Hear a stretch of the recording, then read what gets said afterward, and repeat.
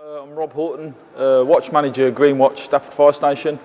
Uh, we're down at uh, Stafford Fire Station today doing a car wash for the firefighters charity. Uh, we've been helped by cadets from Rugeley and Cannock uh, and also by volunteers for the area that, that volunteer for the fire service for community safety events and to assist us with other things. We're a little bit out of the way here at uh, Stafford, so we're having people down on the island trying to call people in, and we're getting through a fair few cars, doing doing a nice job, keeping them clean, and also telling them about our community safety options.